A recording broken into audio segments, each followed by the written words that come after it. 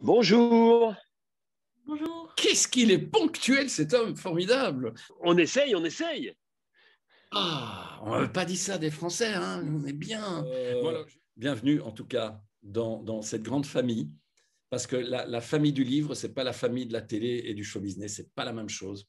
On pourra juger sur papier, sur les écrits, donc bienvenue. Euh, l'actualité de mon invité aujourd'hui, je la connais, c'est la promotion de son livre. Maintenant, il y a peut-être une autre actualité. Quelle À part la promotion. Écoute, euh, eh, la promotion du livre qui sort donc le 3 et puis le début de la future saison de Colanta euh, le, 12 mars, qui est très rare, mais enfin ça arrive de temps en temps, euh, l'absence de Belges pour une fois. Mais il faut dire que comme vous avez gagné Colanta avec Maud il n'y a pas longtemps, on a peur que vous gagniez régulièrement, donc on vous met un petit peu de côté. Non, je plaisante.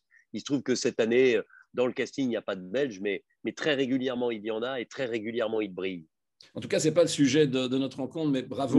Je ne suis pas le premier à, le dire. Bravo et, non d'une pipe, euh, merde. Parce que Colanta m'a foutu des soirées en l'air avec mes enfants. le dernier récit que j'ai lu, c'était celui de Camille Kouchner et je l'ai présenté comme un roman. Parce que donc, je ne sais pas encore si un soldat presque exemplaire, je dois le considérer comme un récit ou un roman. Donc, je vais être certain avant de dire des bêtises écoute, c'est marrant parce que euh, tu, hésites entre récit et roman, et depuis le début de, la présentation de ce livre, moi j'appelle ça un récit romancé, parce que c'est un récit issu d'un fait réel, issu d'une vie réelle. Mais j'ai envie de te dire, si j'aime pas ça pourtant, parce que euh, un livre, c'est pas des chiffres, mais globalement, c'est 70% de faits réels et 30% de romans. Le roman intervient à, plusieurs euh, euh, échelles et à plusieurs étapes. D'abord, quand moi j'estime que c'est bien d'enrober un petit peu euh, l'histoire réelle, et puis parfois aussi quand la mémoire du héros et de l'héroïne fait un petit peu défaut. Voilà, mais en tout cas, les faits réels, les faits de guerre, lorsque Stanislas est militaire, et puis les moments à la fois terribles et parfois même d'amour intense de, leur vie personnelle à, Stanislas et à Marie, euh, ça c'est du réel, c'est du vécu, c'est ce qu'ils m'ont raconté et que je transcris dans, ce livre. Et à nous de choisir si on le met dans le domaine du roman ou pas, et on le choisira.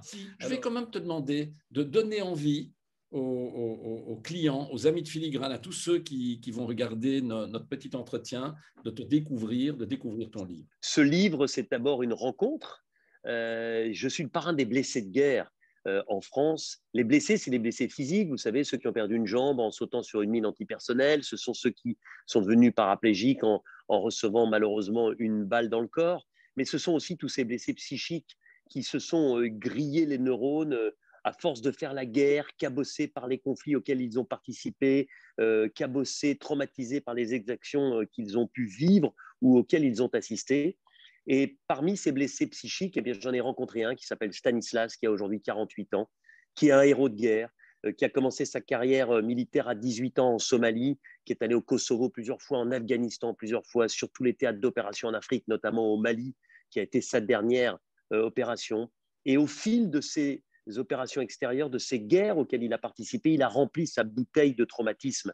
Et un jour, cette bouteille a débordé. Et le héros de guerre, pour, peut-être euh, euh, exprimer un jeu de mots, est devenu un, zéro dans sa vie de tous les jours, euh, quelqu'un de violent, quelqu'un d'injuste, quelqu'un de, monstrueux, même dans sa vie amoureuse, dans sa vie personnelle, avec la mère de ses deux enfants, Marie. Et je raconte ça, je raconte le périple de cet homme qui a souffert de ne pas être aimé à sa juste valeur par sa maman, qui a souffert de ne pas être reconnu complètement dans l'armée malgré des faits de gloire extraordinaires, euh, qui souffre encore aujourd'hui de ne pas avoir réussi à faire aboutir cet amour absolu qu'il avait pour Marie, alors qu'il a à un moment tenté de la tuer, euh, un amour qui perdure même s'il est impossible, puisque Marie et Stanislas s'aiment encore, même s'ils sont séparés, ils vivent à 500 mètres l'un de l'autre et ils partagent leurs enfants, mais chacun n'a pas encore réussi à, refaire sa vie, tant ce premier amour est, fort et est encore euh, indélébile. Voilà. Et puis, c'est aussi la reconstruction de cette. C'est merveilleux. Mais non, mais c'est un plaisir. Mais est-ce que, tu, est-ce que Stanislas, tu, lui as soumis ton livre, tu lui en as parlé tu as... Quelle, est votre relation? Par, rapport au livre je l'ai beaucoup interrogé et évidemment, euh, je lui ai dit euh, Est-ce que tu me fais confiance? Il m'a dit Oui.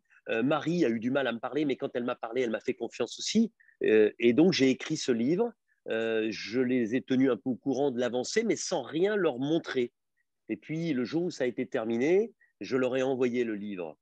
Et sache que ni l'un ni l'autre ne m'a demandé de changer une seule virgule, qu'il y a eu beaucoup de larmes, beaucoup d'émotions, et que tous les deux, avec leur style, avec leur personnalité, m'ont dit simplement euh, on a l'impression que tu étais avec nous tellement tu racontes notre histoire. Ça nous remue les tripes. Ce sont leurs prénoms, Stanislas et Marie. Non, non, non, ce ne sont pas leurs prénoms. d'accord, donc c'est bien, d'accord. Non, non, ce ne sont. J'ai essayé au maximum de brouiller les cartes.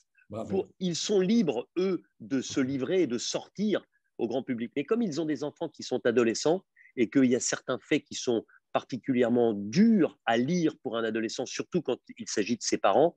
Euh, j'ai préféré, moi, changer les lieux de ville, changer pas mal de choses pour qu'on ne puisse pas les reconnaître et qu'ils soient libres de dire oui, c'est moi, ou au contraire, je lis ça, mais ce n'est pas du tout moi, c'est un roman. Eh bien, je ne peux dire que merci pour cette merveilleuse rencontre. J'aurai un immense plaisir à te faire découvrir. J'espère que tu ne te perdras pas chez Filigrane. Je ne sais pas c'est 23 000 mètres carrés. C'est la plus grande librairie de plein pied du monde. Tu, tu, vas oh, c'est génial. On va chronométrer, on va te faire courir, visiter le magasin, on va faire quelque chose. On fera quelques petits. Mais oui, pourquoi pas Tu vas jouer le jeu. On va, on va faire un cofili. Co, ça peut, un cofili Colanta, pas mal. On le fera. On le fera. Mais eh, j'adore, eh, j'adore les, j'adore les librairies, j'adore les libraires, j'adore les gens qui, qui aiment les livres et, qui les vendent et qui arrivent à, transmettre leur passion aux gens qui ont envie d'acheter. Donc, je serais ravi de, venir faire euh, cette euh, séance de dédicace et, et, de partager ce moment à Bruxelles avec les Belges et en particulier avec toi. Merci. J'ai rencontré un passionné. Merci beaucoup. Et au 18.